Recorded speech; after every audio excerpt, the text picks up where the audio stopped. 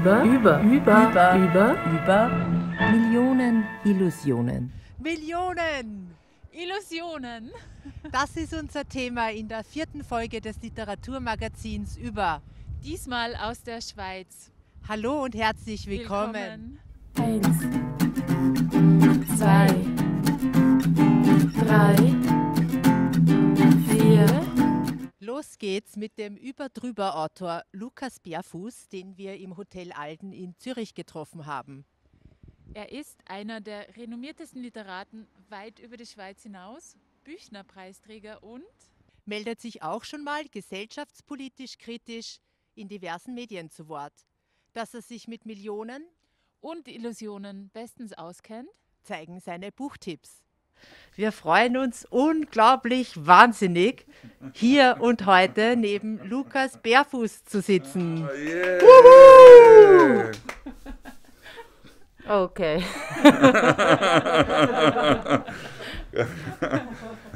Millionen Illusionen, was macht das mit Ihnen? Ich beschäftige mich gerade sehr mit Illusionen und zwar im Rahmen meiner Gastprofessur an der Universität Bern habe ich mir das Thema ausgesucht, Wahnsinnige und Idioten.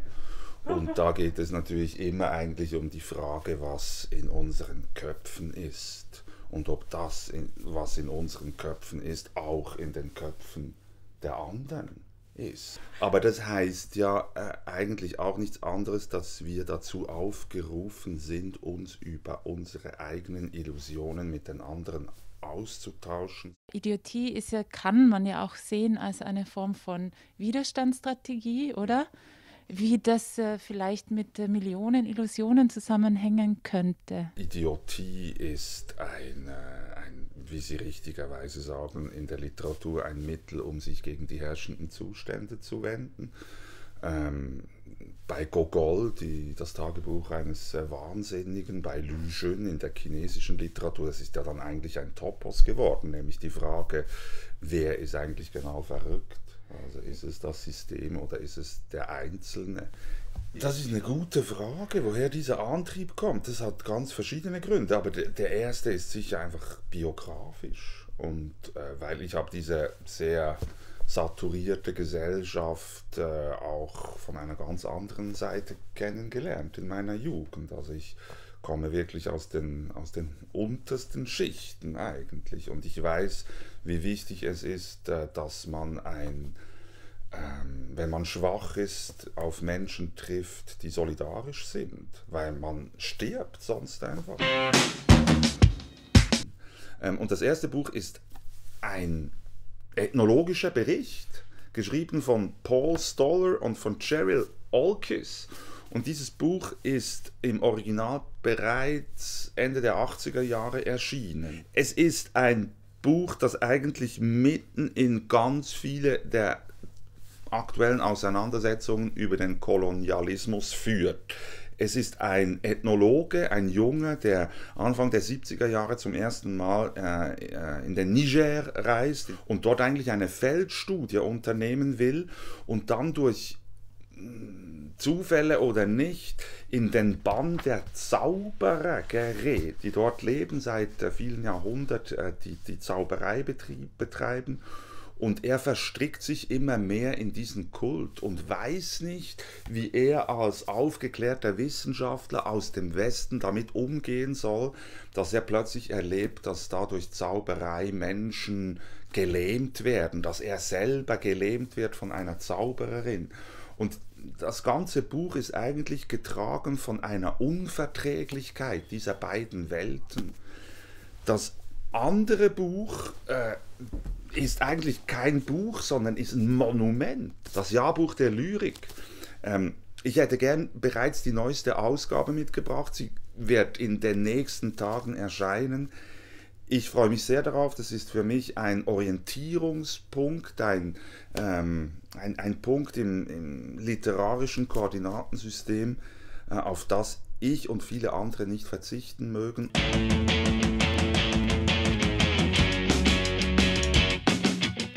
Aus Porrentruy aus der französischen Schweiz, sagt uns die fabelhafte Elisa Dusapin. Bonjour. Für über empfiehlt die Schweizer Literaturpreisträgerin La Marche de Mina von Yoko Ogawa. Ein sehr persönliches Buch, das zeigt, was ein Zwergnilpferd, die Olympischen Spiele in München und eine Mineralwasserfabrik mit Millionen Illusionen zu tun haben. Bonjour, je suis Elisa Soua du Sapin et j'ai envie de vous Hallo, ich bin Elisa Chua du Sapin und ich möchte über La Marche de Mina von Yoko Ogawa sprechen. Es ist die Geschichte eines zwölfjährigen Kindes, Tomoko, die einen Sommer bei der Familie ihrer etwas jüngeren Cousine Mina verbringt. Parallel zur Handlung finden die Olympischen Spiele in München statt. Und tatsächlich wird die junge Tomoko einen Teil dieses Europas entdecken, der weit weg ist und wird diese Zeit, diesen Sommer, mit ihrer Cousine verbringen, einem kleinen Mädchen, das eine seltsame Krankheit hat, ein Zwergnilpferd in seinem Garten hält und Geschichten in Streichholzschachteln sammelt. Die Verbindung zwischen diesen beiden Kindern wird eine Art Nährboden der Träume, der Hoffnung für die Zukunft womöglich auch Illusionen. Da wir auch über das Thema Millionen Illusionen sprechen, gibt es hier etwas, das sich ein Stück weit diesem annähert. Eine Form, vielleicht die Inszenierung einer Dekadenz oder von epischen Bildern, die immer mit viel Ironie dekonstruiert werden. Es ist also ein Buch, das ich wirklich empfehlen kann und das mich persönlich oft bei meinen eigenen Inspirationen begleitet très souvent dans, dans mes propres inspirations. Eins, zwei, drei. Nun zaubern wir uns kurz nach Wien. Genauer gesagt ins Literaturmuseum der Österreichischen Nationalbibliothek zur brillanten Karin Harasser. Sie ist Professorin an der Kunstuni Linz, Vizerektorin für Forschung und Co-Direktorin des Internationalen Forschungszentrums Kulturwissenschaften.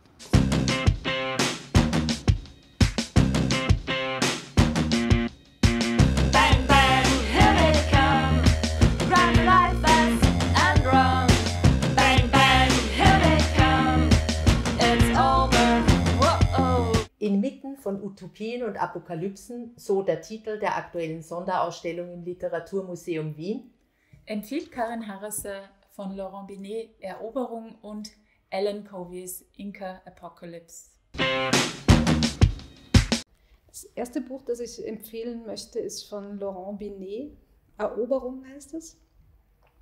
Es ist ein Buch, das, äh, wenn man es mal angefangen hat zu lesen, fragt man sich eigentlich die ganze Zeit, warum es dieses Buch nicht schon viel länger gibt. Die Idee ist nämlich so wahnsinnig naheliegend.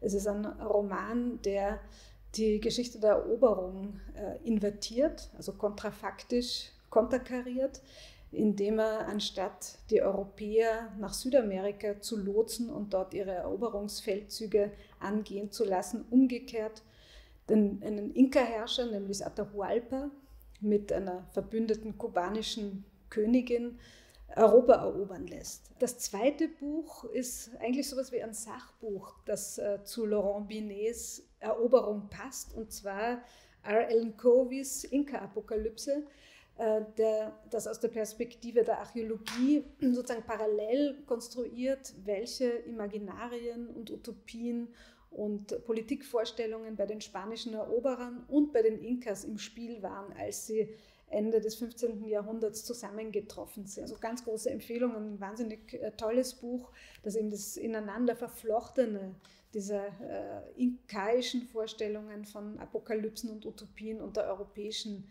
sehr materialreich vor Augen führt. Wir freuen uns total, dass Sie hier sind. Äh, wir wollten mit Ihnen über das Thema Millionen Illusionen sprechen. Inwieweit äh, haben die beiden äh, Begriffe oder Begrifflichkeiten denn in der Wissenschaft etwas verloren? Zuerst mal negativ, also mit der Wissenschaft, also mit, vor allem mit der Wissenschaft, die ich mache, Humanwissenschaften, Geisteswissenschaften, kann man keine Millionen verdienen. Wir sind eine eher bescheidene Wissenschaft.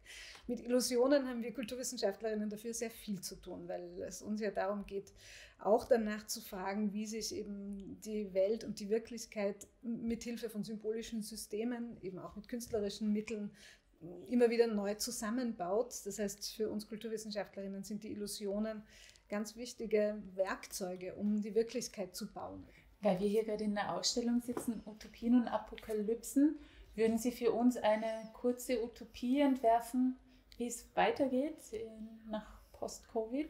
Meine Utopie wäre, dass es nicht einfach irgendwie weitergeht, dass man nicht einfach irgendwie weiter wurstelt, sondern dass äh, man sich auch vielleicht mal, nachdem wir jetzt so lange im Krisenmodus gewesen sind, wo man eben nur versucht, irgendwie immer zu reparieren und zu schauen, wie, es irgendwie weitergehen kann, dass man so eine Atem schöpft und sich nochmal überlegt, wo man hin will. Das wäre ganz altmodisch, aber ich glaube wirklich, dass es, wir müssen darüber nachdenken, ob unsere Form des Wirtschaftens die richtige ist. Zu den beiden Begriffen Millionen, Illusionen. Was fällt Ihnen da ein? Also wenn man jetzt diese Assoziationskette einfach weiterlaufen lässt. Bei den Millionen fällt mir irgendwie immer Dagobert Duck ein. Ich weiß nicht, das ist eine tiefe Kindheitsprägung wahrscheinlich. Also so Berge von Gold irgendwie vor Augen, wenn es um äh, Millionen geht. Bei den Illusionen fällt mir mehr so Professionelles ein, dass äh, eben dass, äh, das Illusorische eben oft so abgewertet wird, als was, was, was die Kinder machen oder was so Fantastereien sind oder was Eskapismus produziert und äh, wo ich aber äh, zutiefste äh, Überzeugung habe aus aufgrund meiner fachlichen Interessen, dass Illusionen sehr viel mehr sind als nur Spintisierereien.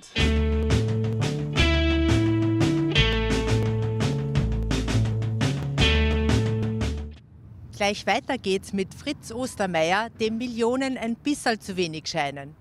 Deshalb plädiert er für 100.000 Milliarden Gedichte von Raymond Queneau. Und weil Illusionen oft auch in den Wissenschaften herumspuken, siehe Karin Harreser, verweist er auf Kathi von der grandiosen Christine Wunicke. Leute, Sie sagen, es geht um Millionen Illusionen. Millionen Illusionen, das interessiert uns überhaupt nicht. Wir haben hier 100.000 Milliarden Gedichte von Raymond Queneau, 1961 geschrieben, Lotti. Weißt du, was ein Sonett ist, Lotti? Hm? 14 Zeilen. 2 mal 4, 2 mal 3. Und Raymond Queneau hat da drinnen 100.000 Milliarden Sonette. Nämlich es sind 10 Sonette. Hier ist das Original, Lotti. Original 10 und wenn man in der Werkstatt für potenzielle Literatur arbeitet, wie oder erfindet, wie Raymond Queneau 1961 da, dann kommt man durch 10 hoch 14 auf 100.000 Milliarden Leute. Schau, schau, durch Lamellen. Leute, Lamellen. Schau, schau her. Raymond Queneau, 100.000 Milliarden Gedichte, Sonette. Und noch was, Leute, noch was, das ist dann einfacher. Das ist nämlich jetzt keine Buchempfehlung, sondern ein Befehl. Das da. Christine Wunicke, das ist nur Pars pro Toto, das ist eigentlich nur ein Symbolbild. Katie, eines ihrer wunderbaren Romane. Alles lesen, so lautet der Befehl. Alles, es ist nicht so viel, alles ist wunderbar, alles ist komisch. Eine Stilistin von großen, großen Gnaden. Irgendwie bist du nicht für die Belletristik geschaffen. Danke.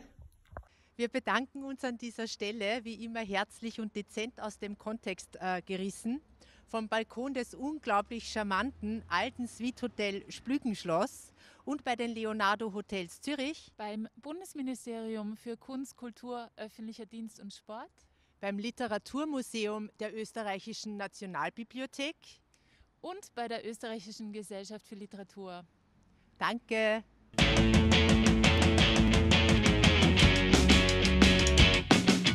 Besonders freuen wir uns auch auf A.L. Kennedy, die wir für über mit selbstgemachter Marillenmarmelade bestochen haben. Erst vor kurzem hat sie den Ehrenpreis für Toleranz in Denken und Handeln bekommen. Ihre Bücher sind tiefschürfend, wagemutig und gehören zu den wichtigsten der Gegenwart. Und auch als Person ist Kennedy eine, die niemals müde wird, ihre Stimme zu erheben. Sei es mit ihrer bissigen Brexit-Kolumne Affentheater für die Taz, oder ihrer live vorgetragenen Beschimpfungspoetry. Dem Thema Millionen Illusionen nähert sie sich mit Fantasy. Moby Dick und The Hobbit.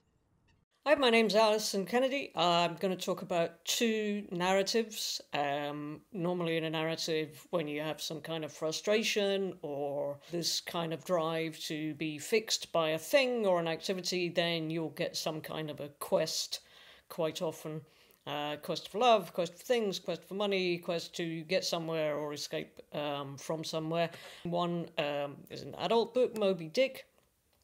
There you have um, ostensibly the normal quest, a whaling ship goes to get whales, cut them up, boil them, use the bones, use the blubber, use the everything, uh, the ambergris, and um, yeah, do terrible things to very nice um, cetaceans. Within that quest to make money, you have Captain Ahab, who is driven by a desire to possess a kind of peace in his soul, and he clearly isn't peaceful. He's looking for revenge against a particular whale. Revenge usually is kind of a bit of a suicidal thing. He locks an entire crew as soon as he nails that coin to the mast into this revenge quest. So he, he, he he's seeking um, a feeling um, he's seeking a release and he's seeking the death of an entity, which obviously ends up killing him because that's how those stories end. Um, the Hobbit children's book, uh, like the Lord of the Rings, uh, a quest. Uh, you acquire things as you go in a quest, uh, and that's good. You acquire skills, you acquire uh, adventure, and and so the main characters in both cases. Um, Bilbo and Frodo, they, they, they satisfy their need to be slightly different people and slightly more exciting, having lived in a really calm, boring, conventional community. But there's an interesting idea which begins in The Hobbit, you could argue, um, with this idea of the Arkenstone, a jewel so beautiful that you shouldn't possess it because it's too corrupting for a living entity to be near, and this idea of obsession to have which was very um, strange when I was a child reading it because in every other book you get the nicest thing possible and you keep it and then you've won. Um, obviously, with The Lord of the Rings, there's this um, sophistication of the idea that you can't seek to, pos- to, to possess or to use or to keep ultimate evil in order to defeat ultimate evil because then you'd be ultimate evil and you were the good guy and there are no good guys left. Um, so, both interesting, lovely, lovely books. Bevor sich last not least der Dichter und Übersetzer Alexandros Kypriotis mit den beiden Titeln Die Kiste und die Nachtschicht des Kalligraphen zu Wort meldet, verabschieden wir uns schon mal. Viel Spaß mit über. Besuchen Sie uns auf www.ueber.tv. Wir sehen uns. Die Kiste, erstmals 1974 veröffentlicht, ist der einzige Roman des großen Dichters und Übersetzers Aris Alexandrou, der 1922 in Leningrad geboren wurde und 1978 in Paris starb. Ein kommunistischer Rebell, der einzige Überlebende der Operation Kiste, die er erfolgreich durchgeführt hat, wird festgenommen. In der Todeszelle beschreibt er in nüchterner Sprache die monatelange Mission und den Transport der, wie sich herausstellt, leeren Kiste von der Stadt N in die Stadt K, um sich schlussendlich für den Inhalt zu entschuldigen. Die Kiste, einer der komplexesten Romane der modernen Literatur, behandelt ein tiefes Trauma der griechischen Geschichte, den Bürgerkrieg der 1940er Jahre, aber jenseits von Ort und Zeit wird der Held zum Symbol der Entmenschlichung und Instrumentalisierung durch eine willkürliche Militärgewalt, an der er letztendlich zerbricht. Die Geschichte, die die preisgekrönte Autorin und Übersetzerin Maria Xylouris in Die Nachtschicht des Kalligraphen erzählt, hat ihre Wurzeln auch in Krieg und Verrat, erscheint das Buch durch 2015, einem Jahr tiefer Krise, Spaltung und verlorener Hoffnung.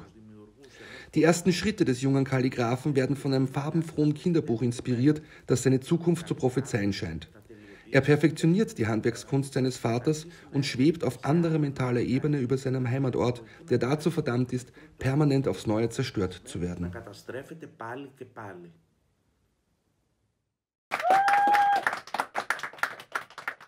Wie nah die Millionen an den Illusionen liegen, zeigt jetzt ein weiterer Schwenk nach Griechenland. Kurz nach Lesbos.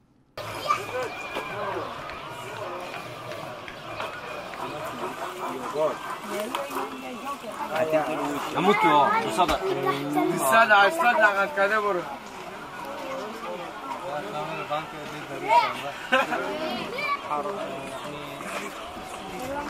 I know who I meet, where I go and what's it for They look like ordinary secretaries who could do no harm But don't you know that night time is the right time for